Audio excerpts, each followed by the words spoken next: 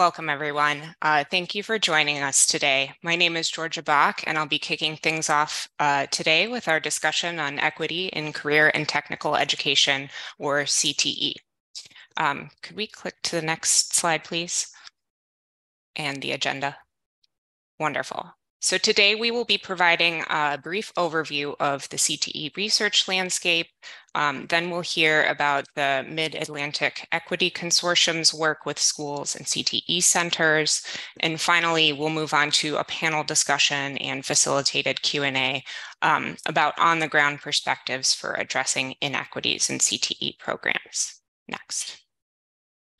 Um, and so just to recap a couple of our high level goals, um, we will be sharing a high level overview of current research on equity gaps um, in access um, and participation um, and outcomes for students in CTE programs. And we'll be sharing on the ground perspectives um, on strategies to increase access and participation. Next. So before we jump in, um, I'd like to share just a brief overview about the REL program and introduce our presenters.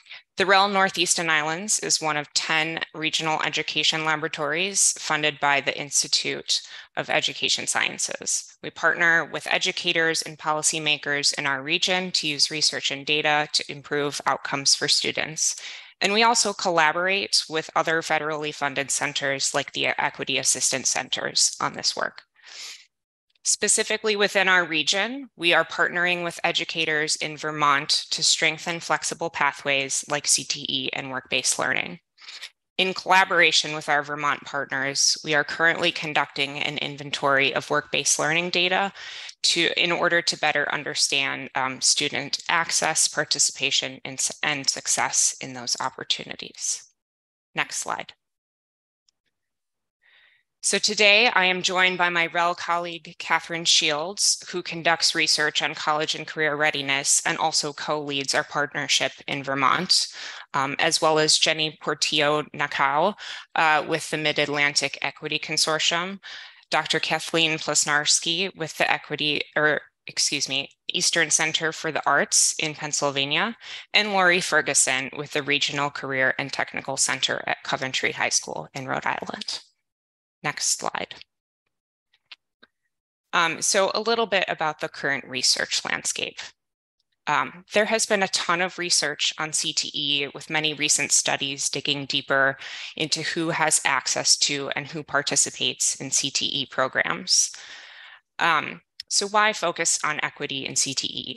Uh, so career and technical education has its roots in vocational uh, programs um, which rose to popularity in the early 20th century. Um, these early vocational ed programs often track students from low income backgrounds and historically marginalized groups into industries that did not require post secondary degrees and were often typically lower paying. Um, so while the purpose of today's CTE programs have shifted in focus, um, inequities still persist uh, when it comes to who participates in certain pathways and certain types of programs. Recent studies have shown that CTE has a positive impact on a number of outcomes, such as high school graduation, uh, post-secondary attainment, and other workforce outcomes. So fortunately, there has been an increased focus on, as well as an influx of federal funding to expand career connected learning opportunities and address barriers to participation in these types of programs. Next. So what equity gaps exist um, according to the research?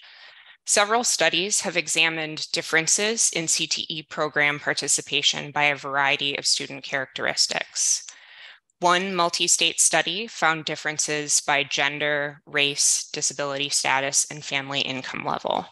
These results were largely driven by geography, uh, but gender did stand out as um, one factor where there were notable differences that spanned geographic locations.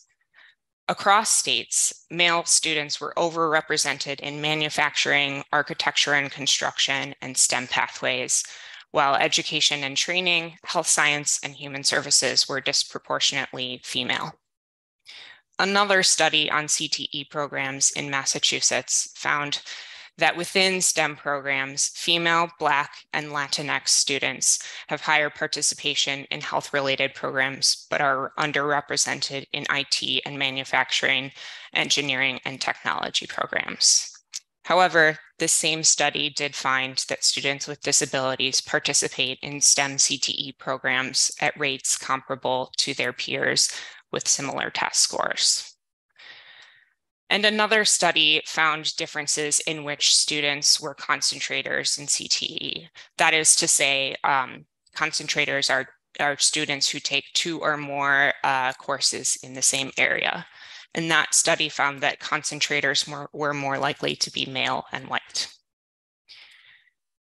There are also inequities in access to uh, high quality opportunities. For example, one report showed communities with higher concentrations of wealth have greater access to equipment and experienced instructors. Further to that point, other reports have highlighted that rural communities often struggle to provide opportunities of similar quality um, and local uh, work-based learning opportunities that are relevant to students compared to um, you know, more rural, uh, urban or suburban uh, locales. There's also some evidence of inequities in student outcomes like post-secondary enrollment, um, depending on what pathways students participate in. For example, one study found disparities in enrollment in higher education depending on what pathways students participated in in high school. For example, concentrators in manufacturing, construction, and transportation, who were mostly male, uh, were more likely to attend two year colleges or go into the workforce directly after high school graduation. Um, and concentrators in engineering, healthcare, and hospitality were just as likely to attend four year colleges as non concentrators.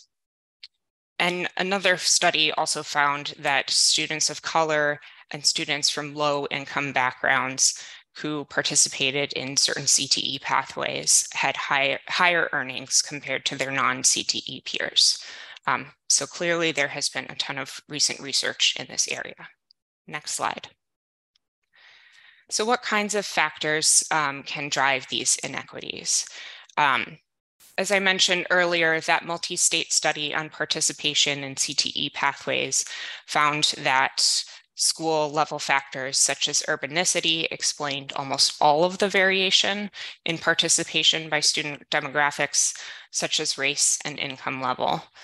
And also related to locale, other research has found that factors such as biases of counselors and other staff, um, school schedules, and transportation can also affect access and participation. And some state and local policies can also affect students' access to certain opportunities. For example, work-based learning opportunities are often highly decentralized at state and local levels, which can uh, affect implementation and quality of those programs. Next slide there is a lot of literature on uh, strategies for improving equity of access and participation in CTE programs. Some of these examples include providing wraparound services to remove barriers for students. So this could include uh, federal funding to support costs of course fees or transportation, um, another strategy is providing professional development for educators, counselors, and other CTE staff to address biases about who should or shouldn't participate in programs and how to provide supports for students um, who need those supports. Another big one is centering the voices of those who are participating in CTE programs. So asking students what are their experiences and, and how could programs be improved to support their success. And sort of the final example that I've listed here is um, leveraging federal and local data collection to understand gaps in participation and outcomes. And this could look like flagging CTE participation in student information systems and comparing program uh, versus non-program participants. It could also look like uh, just making data more widely available to uh, school and program staff so that they're aware of the equity gaps that might exist in their programs. Next slide. And on a final note, um, we wanted to highlight a recently developed resource from the field.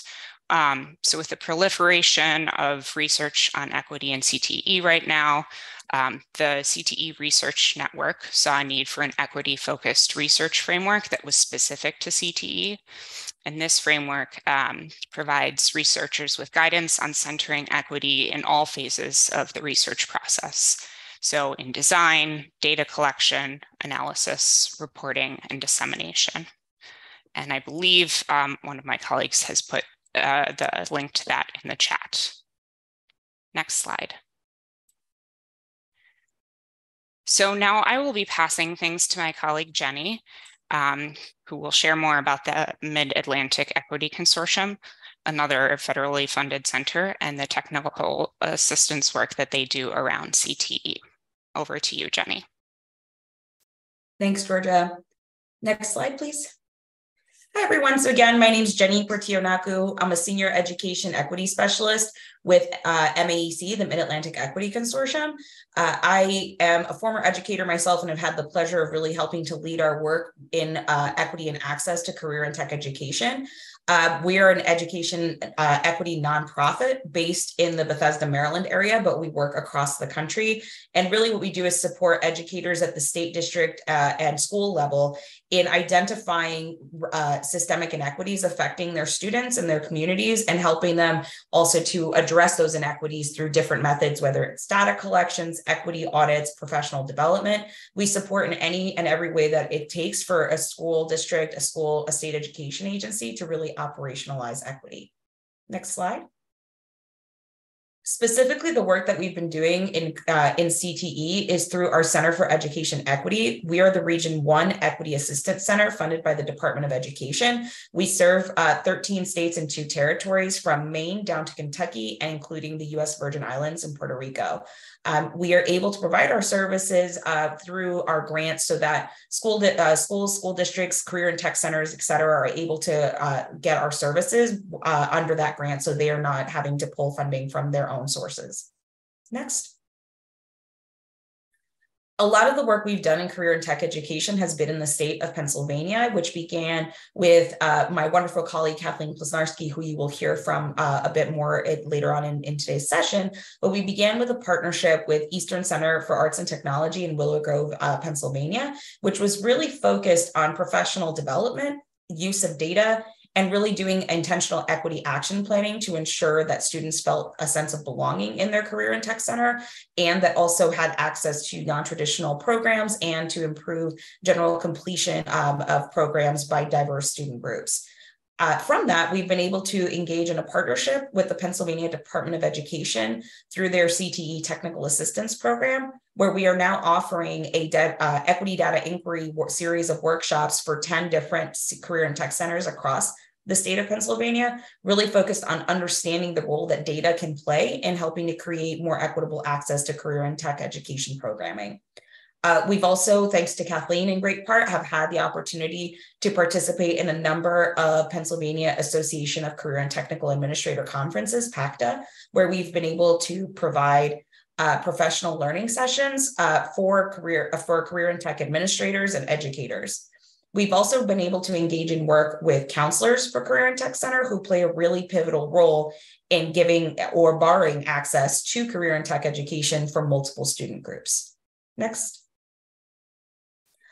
The work that we do is really based on the criteria for an equitable school that MAEC developed as part of our equity audit instrument, our tool that's available on our website. That link will be posted later on. We have developed six criteria based on research and our work in the field. Uh, an equitable school is one that has to have a mission around equitable access that's centered on equity, not as an aside, but really centralized. Uh, an equitable school also has to have an inclusive and visual physical environment in career and tech education. A lot of times that can look like thinking about who are we displaying on our walls as engaging in particular career and tech ed fields, uh, thinking about the types of language that we're using and the resources we're putting in front of students and who is represented in those.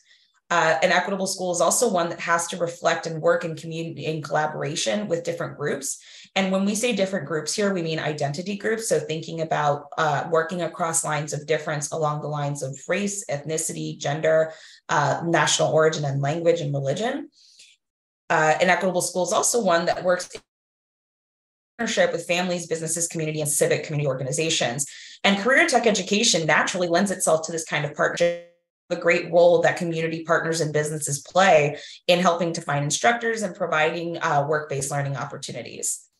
Uh, an equitable school is also one that has to have ongoing, embedded, and systematic uh, professional learning opportunities. We can't PD our way to equity, but it is really critical that we provide instructors who are engaging with students day in and day out with the resources they need to be able to adequately support them. And finally, this one gets left out a lot, but I really want to shout out Eastern for, for their focus on this is that the equitable school also has to be one that really caters to students' social emotional well-being and really thinks about how they create a sense of belonging for students that highlights their cultural assets. Um, and so when we think about equity, there can be a lot of abstract conceptions of that, but at MAEC, this is really what we boiled it down to, uh, being the most critical elements for a school to have in order to really provide an equitable experience for all students. Next. In working with uh, CTE programs and CTCs, um, and really with any uh, SEA or LEA that we work with, we employ our continuous improvement for equity uh, framework, which really starts by helping uh, the, the clients that we work with, the schools, the districts, understand their system, understand uh, historical roots of inequity, uh, understand patterns that have existed at their schools, um, then also having clear aims and a real clear strategy for how they're going to address inequities. And really, this uh, one of the key tools we use in this process is data and we leverage it in different ways. So, for example, we could be looking at different sources of data. A lot of times there's a focus on Perkins 5 data, enrollment, uh, NOCTI, or other certification data. But there's also qualitative data that needs to be considered, like culture and climate surveys and other uh, and um, uh, town halls, focus groups, whatever you need to do to really engage those who are most proximate to to inequity, which in this case would be our students and our staff. And so this approach of continuous improvement for equity ensures that uh, we're being intentional in really identifying and addressing the root causes of inequity, not just symptoms of those inequities that can then creep up again later on.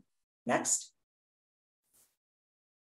whenever we're working with a career and tech center or CTE program, we really do a lot of work in understanding where they are in their equity journey. And so, in some contexts, we might start at the center, uh, trying to address beliefs and potential biases of staff and administrators that can really impact student experience. So, for example, in our work with counselors and where they send particular students, what programs they gear them towards in CTE, which students are, are offered access to CTE versus not um, we might begin there if that's where we need to begin. There are some cases where beliefs and biases isn't the place where we can start, but we can start with systems and structures like data that can then shift school culture and practices. Um, and so it's really important to note that beliefs can uh, impact our behaviors, which can create a certain culture in our schools, which then contributes to certain systems and structures. But the opposite is also true the ways in which we leverage policies, data, et cetera, can lead to a certain set of norms or culture in a school that then impact interpersonal behaviors, and then those lead to specific individual beliefs. Exactly, a career and tech center or program is, and then try to uh, create a customized plan for them to advance uh, through the through these different uh, elements of creating a positive school culture for students. Next. So I wanted to provide an example of the ways in which we leverage data to help uh, career and tech centers really and programs understand uh, how bias, how inequity might show up. So for example, here we have enrollment data in uh, CTE enrollment in Pennsylvania specifically. And we've shown this slide and this, um, this type of data to different practitioners, whether administrators at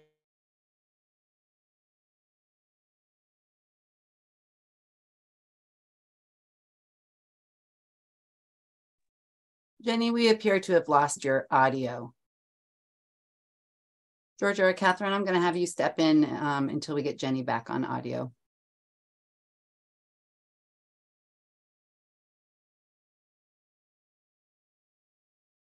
All right. Um, so I think as as Jenny is share, sharing here, um, this is sort of the CTE enrollment data that they look at um, by their demographic categories. Um, and yeah, Catherine, um, if you could jump in, that would be wonderful if you have uh, some thoughts on this piece. Sure. I just wanted, I'm sure that um, th- that Jenny will elaborate on this more, but I think we've really found that it's very powerful to look at your um, data um, and to drill into it as much as you can in detail. One thing that we've sometimes seen is that you know at the top level you may see that there's there could be equity and who's getting in the door to a CTE program or pathway, but if you drill down to like who's getting access to some of those higher value um, opportunities like an internship, um, you may see inequities there if you're able to look at data on that or even just get anecdotal information about it. Um, so we found that working with districts to look at those kinds of um, kind of what, what experiences are students actually happening, having once they get into the program is, uh, is quite helpful. All right, um, apologies. Can you hear me now? Yes, yes, we can hear you. Great. Sorry, Zoom crashed, of course. of course. No problem, for, Jenny. For taking over, Catherine. But yes, as you were saying, we have folks uh, think about what connections they're making, what are they seeing, and then to use this as a jumping off point to consider how they can use, look at their own data. So in this example here, we would want folks to start thinking about what they're noticing, for example, around race and ethnicity, when clearly there's a disproportionate enrollment in CTE compared to the overall school enrollment in grades 9 through 12 in Pennsylvania. And we notice this when we drill down even further into programmatic data that we start to see differences in uh, in gender uh, uh, for certain programs, uh, which aligns with the research that Georgia raised earlier. Next slide. So similarly to what was shown before, some of the uh, the inequities we've noticed and where often implicit bias can come into place is, for example, as I just mentioned, enrollment of specific student populations in CTE overall, but then on top of that, disproportionate enrollment of different student groups within specific CTE programs, whether it's in business and technology programs, health, uh, allied health fields, um, the trades uh, and, uh, and, and, and things of that nature, we see lots of disparities there in who is enrolled in those programs. Uh, as mentioned earlier, disparities in access to specific tools or resources that um, can create, uh, in, unintentionally often, a barrier to participate in specific programs if you need particular tools for welding, manufacturing, et cetera. There's also what we've noticed disparities in access to apprenticeships, internships, and work-based learning opportunities even in career and tech ed programs where there is proportionate enrollment overall, there might be less uh, proportionality when it comes to uh, the ability to access these other career, uh, th- these college and career pathways that are so critical. And then finally, a big one that we've seen is also having policies or structures that inadvertently create barriers to access for students with IEPs or 504s and also language requirements that might in, uh, inhibit students who are classified as English learners or multilingual learners from enrolling or being successful in their programs. Next. So this is not a linear pathway. Moving towards equity and access to CTE is not linear. It is very iterative. So you'll never fully be done, but it's really important to continue to think about how do you uh, engage in equity work that's responsive to your school and community context. Um, and so here is an example that of, of, what a potential entry point into the work could look like. Maybe it's that you initially form a career uh, committee or work group um, it, to engage in school-wide work, and maybe you begin by defining what does equity mean for our particular CTE program. Uh, you could conduct an equity audit of your school and classroom practices to really find out because you uh, what the needs are because sometimes we don't know what we don't know about student experience collecting and diversifying the forms of data that we use reg- on a regular basis, then shifting into actually continually disaggregating and analyzing data. Often we look at data at summative points at the end of the year to plan for the following year, but that continuous looking at data and disaggregation is really critical for continuing to make sure that we're addressing student needs um, continuing to have that capacity building and development for staff, especially to ensure that they feel supported in having conversations with students and supporting students of diverse backgrounds. And finally, also creating networks of support. It's so great to see so many of you here that hopefully can touch base and have networks of support um, across CTE programs in different states to really learn from one another and to support each other in this work. Um, this is not the exact pathway that Eastern took, for example, but it is one way that you could approach. And at MAEC, we're happy to help identify what those entry points are. So to close out my section, next slide. I'd like to offer you two tools, and those links are in the chat now. We have our equity audit tool, which is available free for download on our website, um, and our data inquiry tool. These are both that we've used with different career and tech centers and programs to help them uncover areas of need related to equity and also to think about how they can leverage data to address those. Um, and so with that, I will pass it back to Georgia. Thank you, Jenny. Um, so now we'll shift to our panel discussion where, where we will hear um, some on the ground perspectives from our practitioner panelists on how they're thinking about equity in their work. Um, so I think we can pull the slides down and go to gallery mode here. Wonderful. So Kathleen, let's start with you. Um, could you introduce yourself, um, tell us a bit about your work and how you're thinking of equity when it comes to who has access to and who's participating in programs at Eastern and sort of what data you rely on to inform that. Hey, and those are big questions right there, right? Um, so my, my name is Kathleen Plesnarski. I'm the Executive Director of Eastern Center for Arts and Technology, which is a public career and technical school serving nine districts in suburban Philadelphia, outside of Philadelphia. And um, it's a wonderful place to be when I think about equity, I think about access, but I also think about experiences, opportunities, and student outcomes, and making sure that all of our students are, are, are, are having those in an equitable fashion. We have been so fortunate to work with Mid-Atlantic Equity Consortium. Three years ago, when we started our equity work, you know, one of the things that really came from that, um, that sort of made us made us think about that is we we had some of our districts um, coming and coming forward and saying, hey, you know our our school isn't serving special needs students with special needs. And for me uh, being a relatively new director i was like a little bit offended because 38% of our 38 to 40% of our students on an, any given year um, have special needs and so when we sat down with our district personnel to really like hash out what was really happening um, what what came out of it is that we've had this lifelong motto at our school from the 80s of getting the right student in the right program for the right reason which has a feel to it that could be very positive, but also has a sort of an insidious feel to it where you're really, you know, making sure the right kids get in and who can determine right kids. So when we had those discussions, we also identified um, some inequities in our registration process. An unwritten rule was that they expected students to be able to pass the NOCTI to, to get admittance to our school. That's our end of program assessment. And then the other thing um, that we noticed when we looked at our actual written procedure was that a student who was a junior, because we only serve juniors and seniors, was given priority over a student coming in as a senior, and that inadvertently um, discriminated against students with special needs who may have been planning to attend for two uh, or somewhat three more years. So we we got rid of the right kid in the right program for the right reason. Um, we made some changes to our procedure to remove that language that could be discriminatory. And we have a pretty clear process for for how we support student enrollment in our our building uh, for all of our students and ensuring career scopes are taken ensuring that you know we we are attending iep meetings and then we have modified curriculum as most schools do in pennsylvania where if you're going into automotive technology um, you could choose a career objective to be an automotive technician, or you could choose to be an undercar care specialist.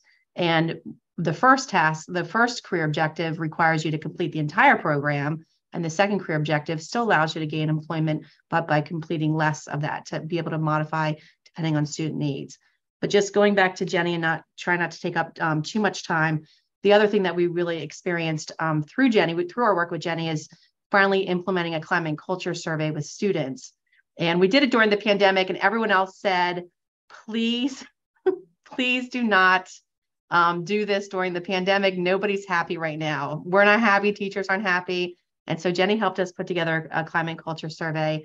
And, and the first year we did it, our eyes were open and it made us realize that you know some of our students who who were transgender and gender expansive might not be having positive experiences at our school we also realized that while, while administrators felt like they were supporting teachers and teachers felt like they were supporting students, um, students didn't feel like they were being supported and cared about, and teachers didn't feel like they were being supported and cared about. So I'm I'm happy to say that we we implemented professional development for our staff for understanding and supporting students who are trans- transgender and gender expansive. We uh, we changed our policy and procedure um, so that our teachers could support our students who are transgender and gen- gender expansive in the classroom. And like just to give you an example, it's just making sure that this the student that we we have known as Steve for the whole two years that he has been in our program gets a certificate of completion from us that gives his legal name so he can he can use it and matches up to his license but also uses his preferred name so that we're honoring him and where he is. And so it's just it's just clearing all that up what bathrooms bathroom students use and what what pronouns we use and and and and being able to make sure that our teachers aren't dead naming students on on day one that we're actually like getting to know our students and getting their preferred names and pronouns before we even call attendance for day one. And then having a form for students to, to report to us if they're changing their preferred names and pronouns. And then we also talk about like, you know, who can we share that with?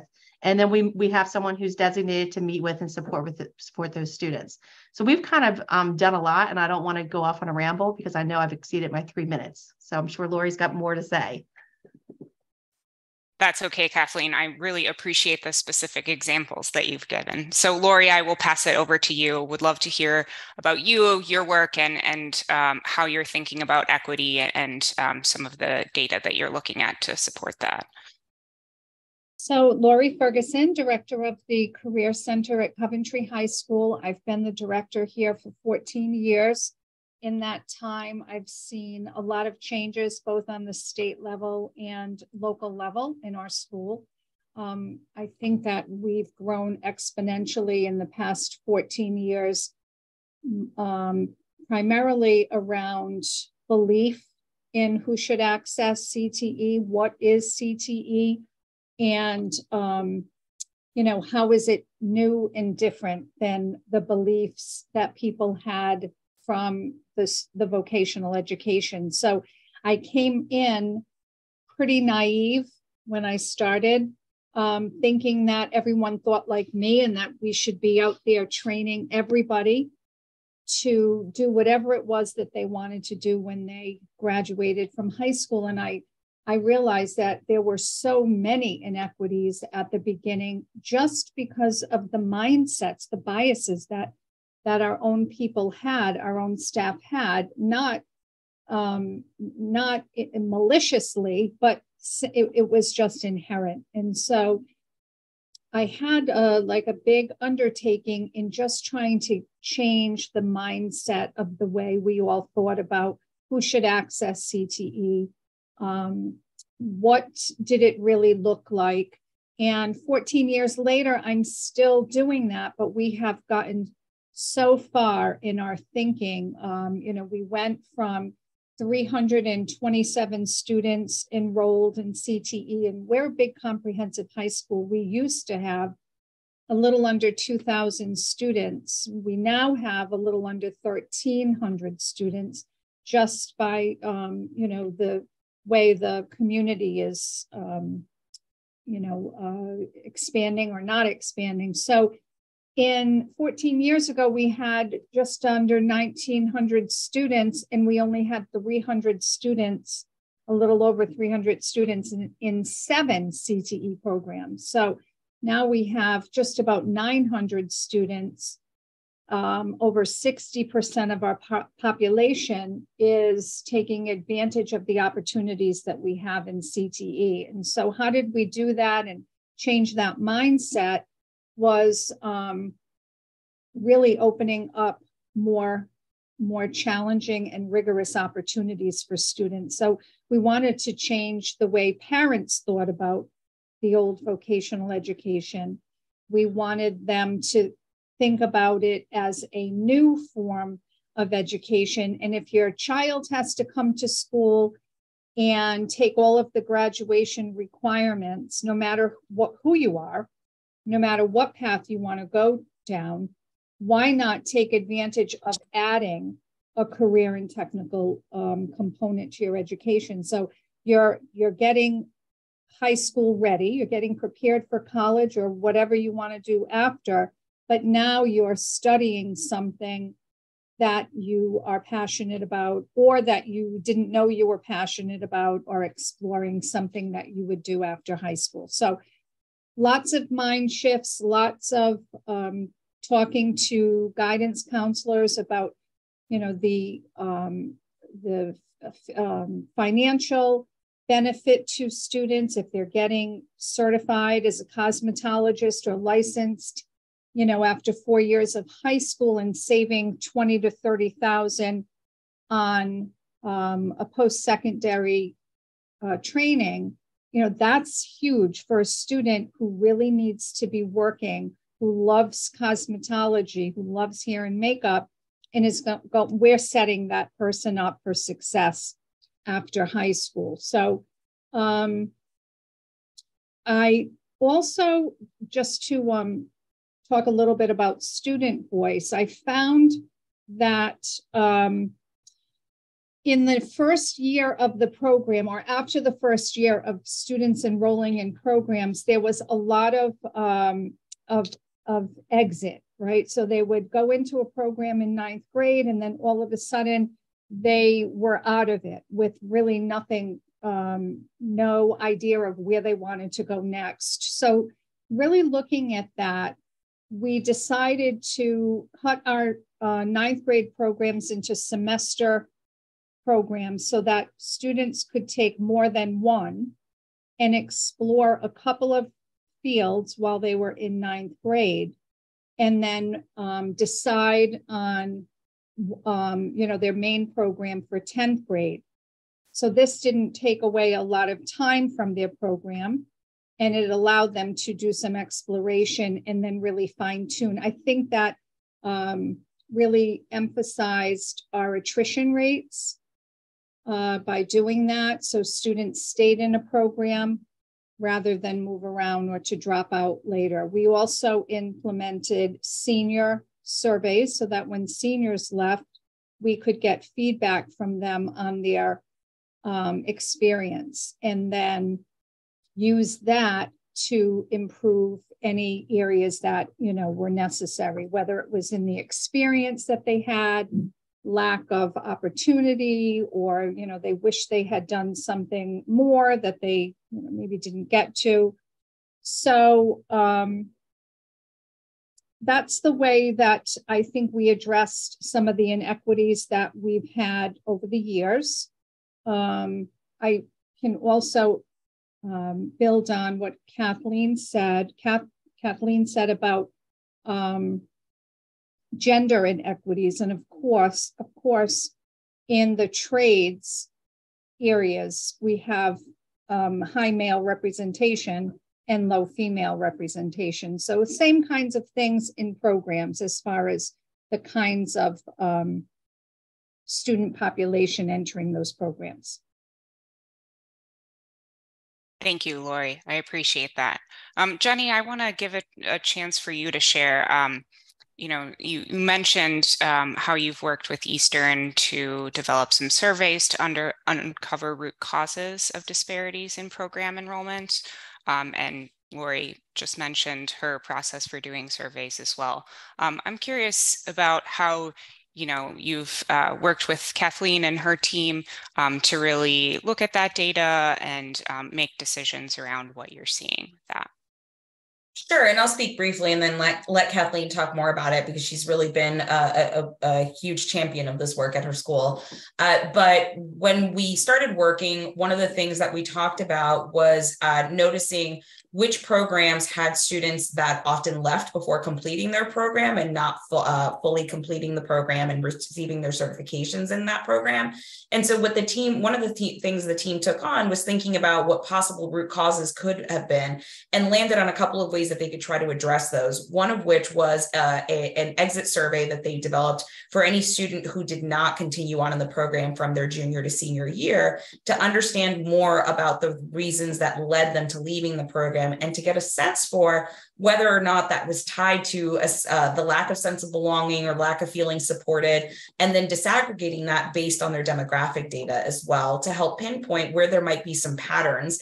Um, because anecdotally, staff could share patterns about who they were thinking was leaving programs often, but now they would actually have a story to tell with their data to then have conversations with staff around why particular student groups might be leaving or not feel as supported despite what teacher perceptions might have been. Um, with that, I'll pass it to Kathleen to share more about how they've engaged. But but MAEC was really able to support you know work that they were already thinking about, and then to offer them a process to really uncover that data um, further and disaggregate it and think about patterns that they might be noticing. Yeah, thank you, Jenny. Just to just to add to that, and just sort of to step back for a moment, Um, Eastern Center for Arts and Technology has always maintained what we call key indicator data. So we could go back for like, I don't know, probably 20 years if anyone's interested in that in terms of research, but we can go back and identify, you know, what was our enrollment in our school? Um, what was our attendance rate? Um, what was our um, retention rate? Uh, kids who start in their junior year and then finish after their senior year.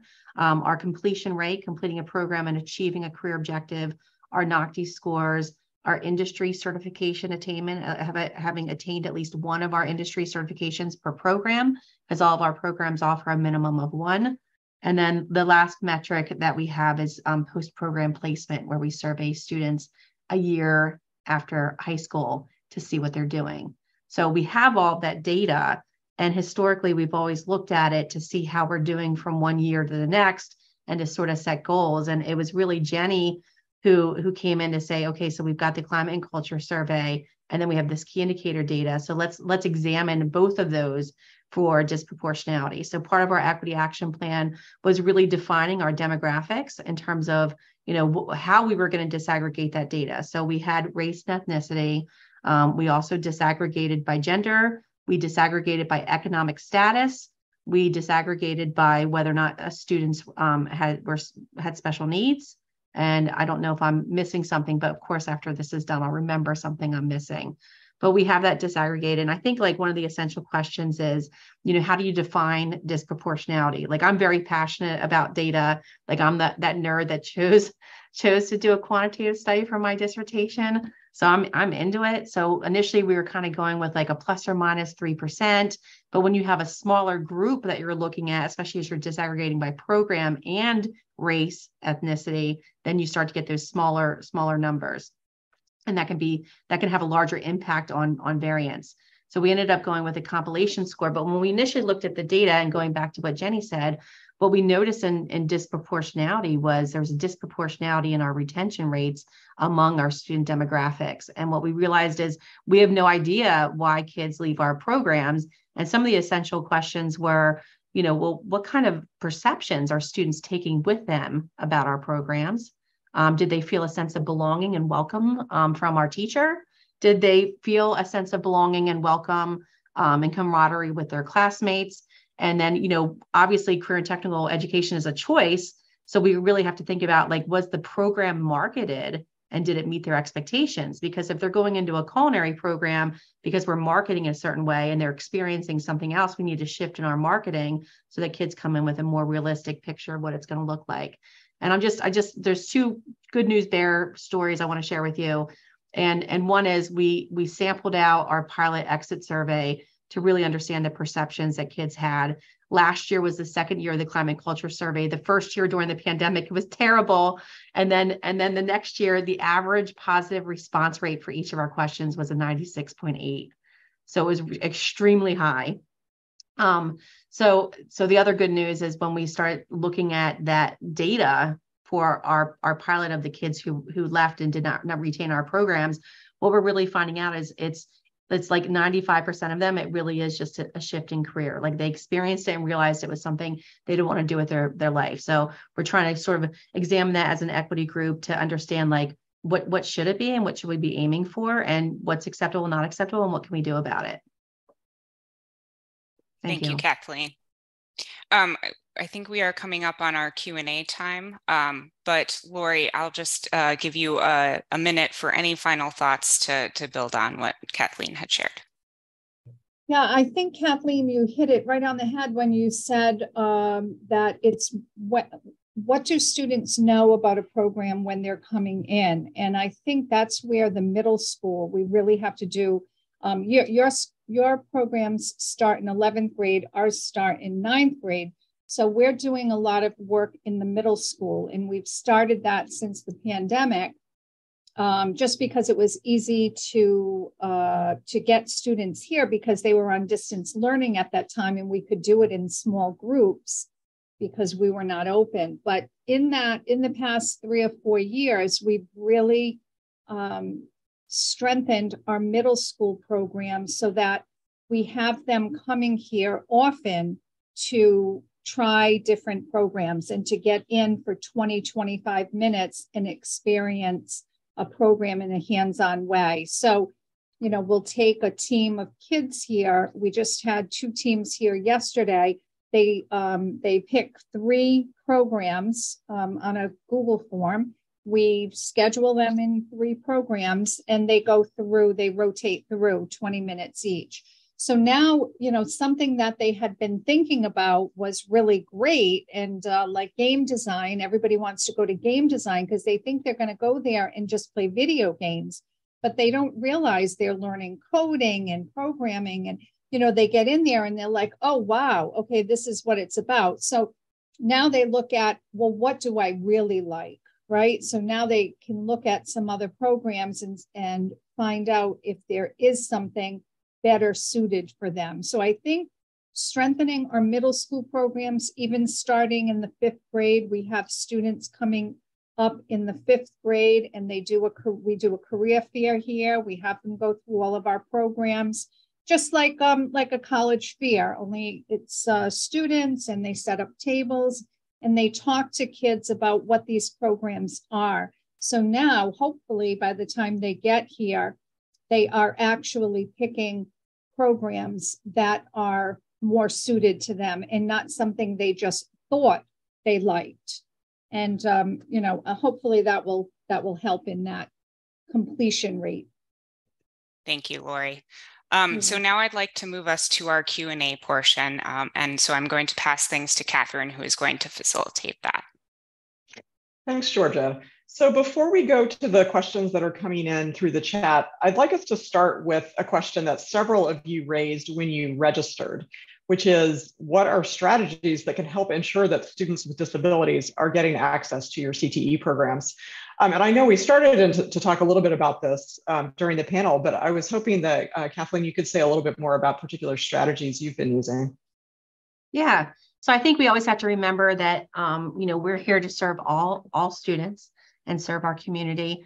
And you know, Eastern, as I said earlier, is 38 to 40 percent uh, students with special needs on any any given year. Um, and our enrollment process is is pretty strategic. Um, you know, it starts in middle school where we actually do a, a, virtual presentation. And then when students are in 10th grade and they're thinking about coming to our school, um, we do what we call Career Expo. And, and we have staff and students from that school who go out and they go into the auditorium of that school. We show a video about our school, and then the students talk about the program and their experience in the program. So they get an overview of Eastern. And then uh, about six weeks later, they actually pick three programs, come over and have a tour, where they actually get to spend time in the program. And then we follow that up with an open house.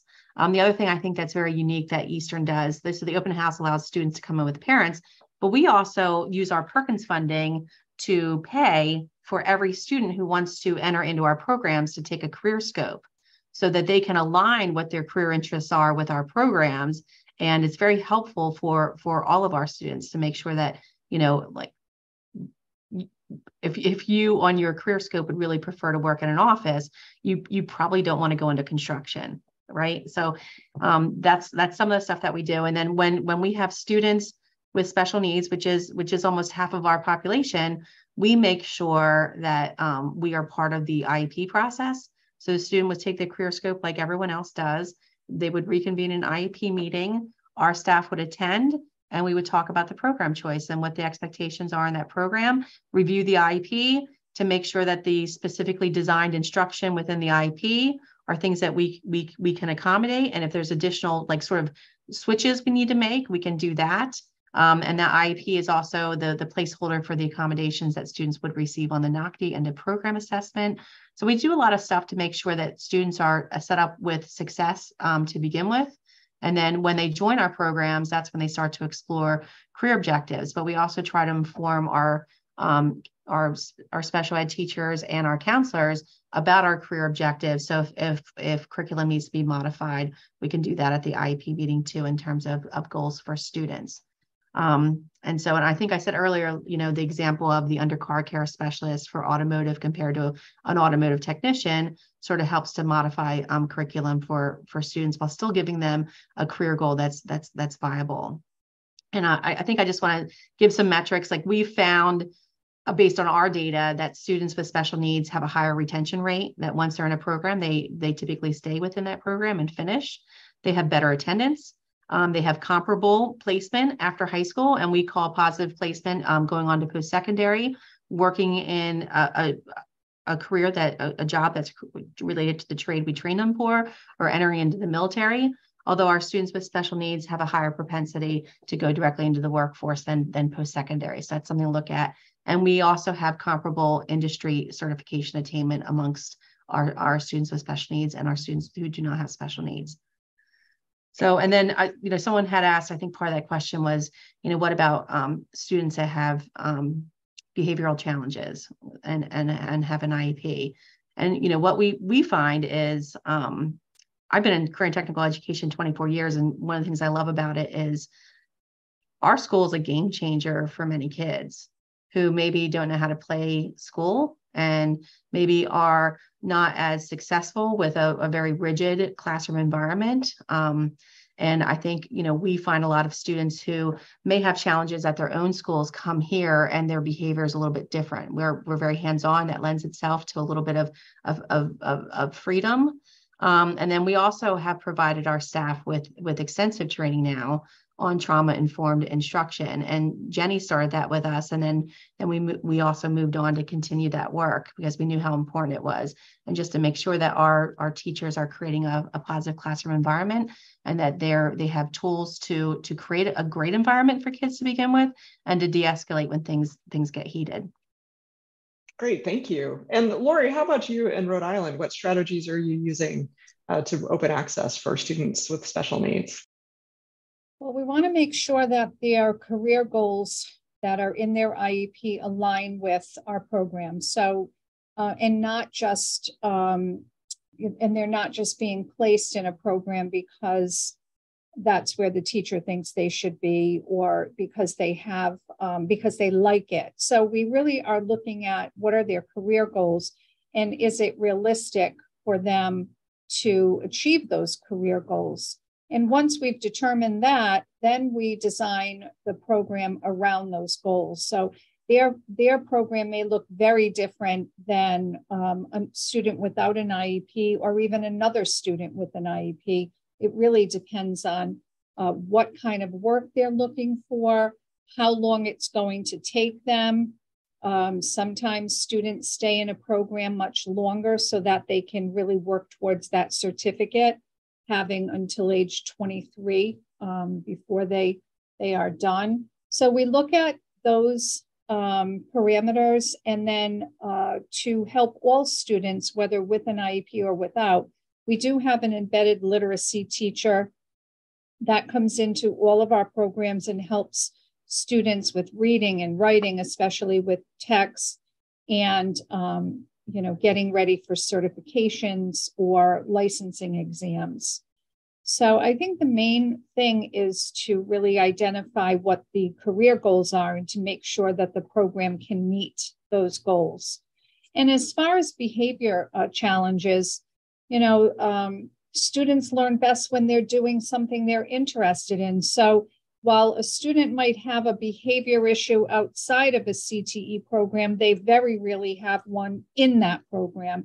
Uh, so we don't deny anybody, but we do we do um, set parameters around expectations and what the behavior is for a student within a program. They are working with equipment and uh, there are a lot of safety concerns as long as a student can demonstrate that they can be safe to themselves and others in a program, then uh, that's who we want. We want we want kids who are interested in being trained and having something that they can do when they leave high school.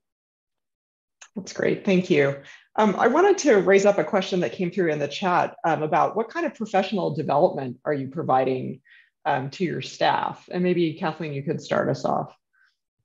Yeah, I mean, Jenny, uh, Jenny's first year with us um, was extensive professional development. I think our staff ended up getting about 14 hours of professional development.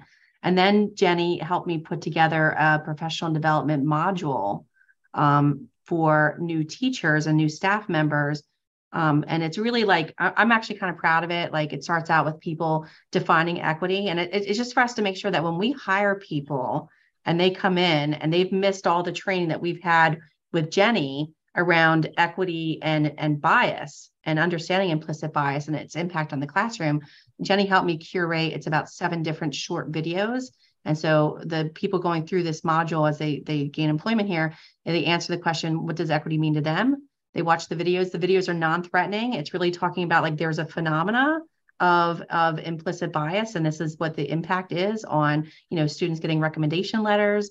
Um, this is the impact of the classroom. Here's some strategies that you can use in the classroom to pr- promote equity. And then it ends with a video on psychosocialization. All but one video is under four minutes each video.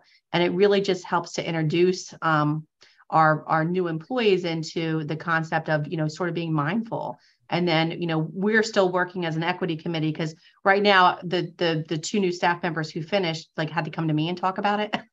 And i'm the director. So we we are as an equity committee we just we just pick someone else that would be um, probably better for it. But i do really appreciate jenny's help in doing that. And i've gotten really good reviews from people who have who have completed it Great, thank you so much. Uh, well, I'm going to turn it back to Georgia, but I'll just say thank you for the other questions. I'm sorry we didn't have time to get to all of them, but um, if you registered for this webinar, um, we will um, potentially be creating a Q&A document that we'll send out to folks when we send out the slides and so on later this month. So thank you very much, and I'll turn it back to Georgia. Thank you, Catherine. Um, so just a couple of things to close us down today. Um, before um, you leave, we ask that you please uh, share your feedback in a short survey. We've put the link in the chat. Um, we really appreciate you taking the time to do this um, as it really helps us improve our um, future webinars and support to folks like you. And that survey will also automatically launch when you uh, leave the webinar.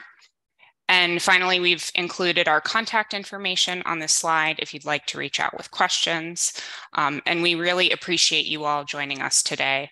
Um, the webinar recording will be archived and uploaded to IES's YouTube channel. And if you've registered for today's webinar, you'll see receive an email from us with a link to the recording when it is ready. Um, thank you again and have a great rest of your day.